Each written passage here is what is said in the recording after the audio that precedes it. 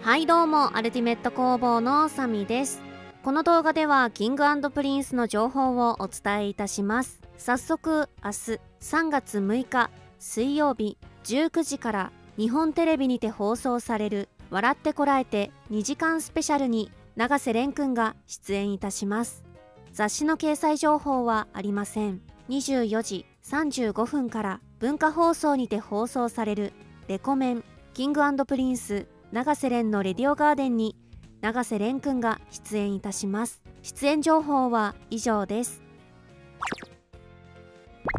キングプリンス公式 X より彩りの時僕がカメラを持って会場の皆さんと映像を撮ったのですが毎回その時のライブで撮った写真が最後の VCR で出るので写りが悪いものもあったりしてそういうのもポイントの一つです。手持ちのカメラでアリーナ席のところをこう一周ぐるーってやってくれて写真を撮るっていうシーンがあるんですけどあれは毎回その時その時のライブで撮った写真が最後に出るっていうことだったのでライブならではっていう演出ではありますよね。番組「笑ってこらえて」公式 X「笑ってこらえて2時間スペシャル」3月6日水曜夜7時から放送。スタジオゲストにキングプリンス永瀬廉さんが登場。お写真が載っております。さらに笑ってこらえて公式 X 笑ってこらえて2時間スペシャルスタジオゲストキングプリンス永瀬廉さんに収録後感想コメントをいただきました。